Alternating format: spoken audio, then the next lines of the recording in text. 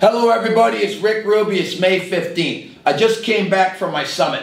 Uh, let's see. I had 40 clients not show up. I have had 28 quitters. I only had 81 guests in the room when I was supposed to have 130. I didn't get it done. So what did I do? I signed up 69 people to interview for coaching. I recommitted all 460 that were in the room. I crushed my coaches, hammered them, got them recommitted to me. So what do you got to become? You got to become a cold-hearted killer. You got to win at all times. You got to get it done no matter what. You got to pay the price whatever the price is.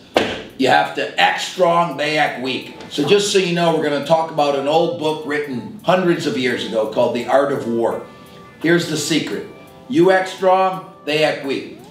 I'm working out, I'm playing basketball, I'm talking to you, I act strong. Because I act strong, you will come underneath me.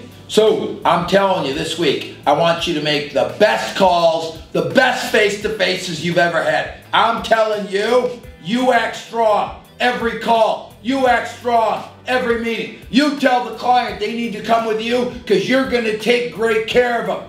I want you to straw, close strong. So listen, if you were in my room, we're going to win no matter what. We're going to get it done. We're going to break records. I don't care what's distracting you in life, we're going to get it done. I sold my house, uh, close the next week. I got to move. It won't distract me at all. I delegate. I get it done. I handle my business. Get it done. No distractions. Your family, your life depends on you having lots of finances to take care of them. I'm so sick of the whiners and complainers complaining about the inventory and complaining about the rates. Get over yourself. Go to work and crush it.